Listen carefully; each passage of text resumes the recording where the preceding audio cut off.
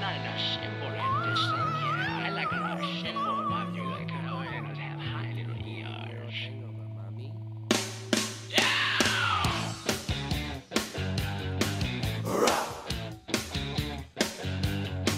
I've got a new